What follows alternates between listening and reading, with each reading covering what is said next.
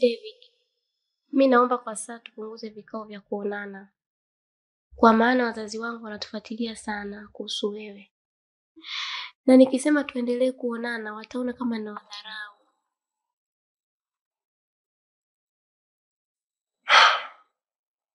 Unajua tatizo kwamba haiwezi kupita siku bila kukuona. inaweza fichua hata siri na kuficha siri. Hey, ina majina mengi shilingi shilingi inaweza fichua tasiri siri na kuficha siri hey, yeah. ina majina mengi shilingi shilingi Halafu muda mwingine hata nikiwa nyumbani huwa pia na miss kukuona. Sio kirahisi kiasi iko Wema. Najua David, lakini tuvute subira, sawa? Ipo siku tutaonana bila hata kujifichaficha. Lakini Wema, jua kuna na mapenzi yana nafasi yake. Afa huu mtihani ambao unataka kunipa ni mtihani mkubwa sana kwangu. Kwa nini unataka kuidhurumu nafsi yangu? Nikwambie kitu hivi, unajua mpaka sasa hivi wewe ndo unasababisha mimi kuwa hapa.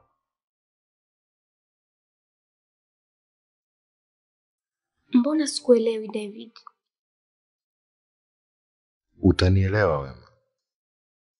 Hata nikizungumza unaweza kunihisi mimi ni chizi au nimechanganyikiwa kabisa, lakini ukweli ndio huo.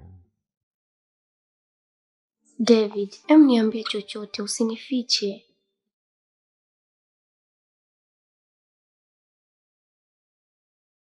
Naomba nikuulize kitu.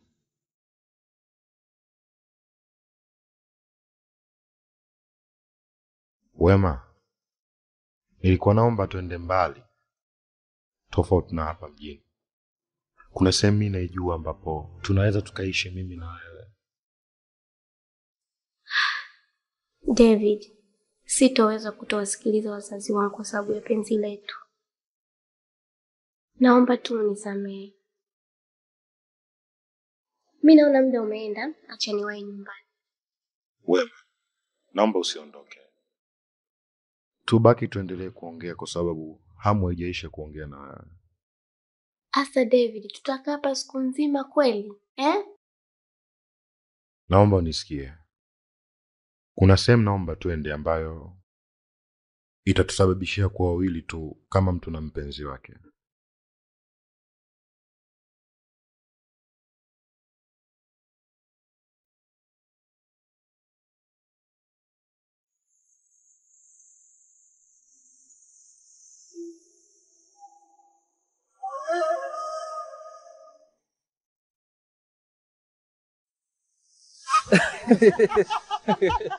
Unajua sikiliza, sikiliza. Mwanzo sikubaini kitu gani cha kufanya. Lakini nilipokaa tu nilivyotuliza kichwa. Nikajua hivi vipimbi viwili hivi Ah, ndio mmefanya mchezo mzima huu. asasa think si kizigo hapana. Wewe ah. kichwa wewe. Abdul. Unajua mimi unajua mimi nilimwambiaje huyu? Nikamwambia ndugu yangu, hapa cha kufanya hapa hakuna kumjulisha. Tumwangalie ujamaa ujanja wake utaishia wapi. Umeelewa? Mmenipatia sana. Nimeipenda hiyo. Ah, lakini si fresh. Ah, bado yani bado sijamsoma yani anakuja anatoka anakuja anatoka ila nadhani nikizidi kuwa naye karibu atakuwa sawa Lakini si amekutumia pesa? ya amenitumia pesa Wewe ulikuwa unataka kitu gani kingine kukiona ili uamini kwa yule amekukubalia? Mimi kitu ambacho nataka kikubwa nisikie kutoka kwake kwenye kinywa chake anapenda Junior, utasubiri sana, Hmm. kwani wasichana sasa hivi haongeka maneno, ni bali ni vitendo tu. Alafu tena ameshakutumia hadi pesa, inaonyesha wazi washakupenda. hebu tuachane na hayo bwana vipi kizigo unaendeleaje Leo nashukuru Mungu nimeamka salama, mpaka wanaona nipo kazini naendelea na shughuli zangu. Hebu nisikie nikwambie kitu kimoja nani. Unajua huyu kinachomfanya awe hapa mpaka sasa hivi ni ubishi tu. Ila kwa kiasi fulani kabisa naona kabisa hali yake haijatengamaa kufanya makazi yetu magumu. Umeelewa? Ila ubishi wake tu tunazidi kumweka hapa. Abduli, hmm. unachokiongea uko sawa kabisa. Mizigo unabidi uzingatie masharti yote daktari aliyokupa. Unywaji wa dawa, maji kwa wingi, pamoja na matunda, na upate muda mwingi sana wa kupumzika. Poa mwanangu, nimeelewa. Sema kulala nyumbani sio issue, maana uja kupambana.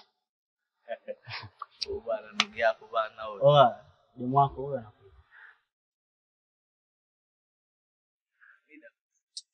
Poa mwanangu fresh bwana. Kila la heri bwana.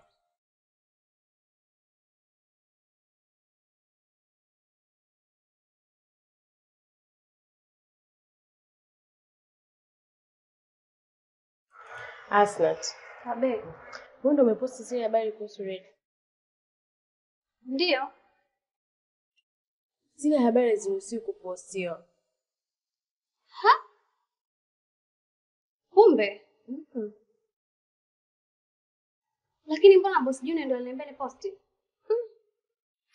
Habari kama zile haziruhusiwi kwenye ofisi yetu kwa sababu ziko kinyume na taratibu za ofisi. Kweli? Eh. Kwa kuwa makini rafiki yangu, unaweza ukapoteza kazi hivi hivi. Asante mpenzi, nimekuelewa. Kuwa makini shoga. Sawa.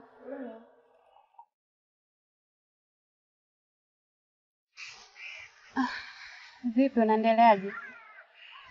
Naendelea vizuri tu. Sijui wewe. Niko poa. Umependeza na leo. Natoka kutafuta kazi.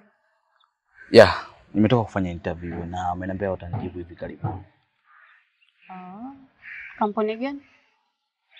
Ni kampuni ambayo inajishughulisha na masuala ya magazeti. Inaitwa Mubasha. Oh. Na shemeji yangu anafanya kazi kwenye hiyo kampuni. Ila unaniacha njia panda.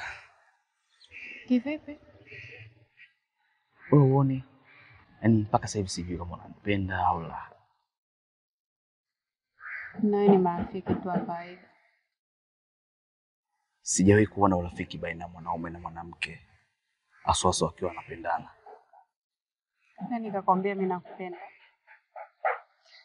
Najua unge- ungekuwa unipendi usingenitumia hata hela ya dawa. Nikutumia kwa sababu unahitaji tuwe marafiki. Mimi naamini hakuna mapenzi bila urafiki. Huwezi ukaingia kwenye mahusiano ya mapenzi na mtu ambaye si rafiki kwako. Kwa unahitaji tuwe marafiki kwanza, and then au mambo mengine unahitaji wewe atafuata. Sawa, kama wewe umeona hivyo, sina kingine cha kuongea.